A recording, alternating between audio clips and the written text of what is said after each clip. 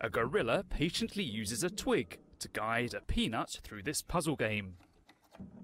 It's designed to entertain and enrich the lives of great apes in captivity, who, just like us, are prone to boredom. Likewise, they've come up with a distinctly human trait to beat the system. The game has proved a hit with the zoo's troop of endangered western lowland gorillas since being introduced to them earlier this year. Scientists from the Gorilla Games Lab designed it to be modular, with countless combinations to keep the primates coming back for more.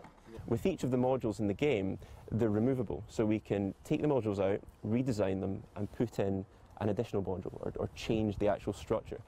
Inbuilt sensing technology records how, when, and where the gorillas use it. Future models could have health monitoring too.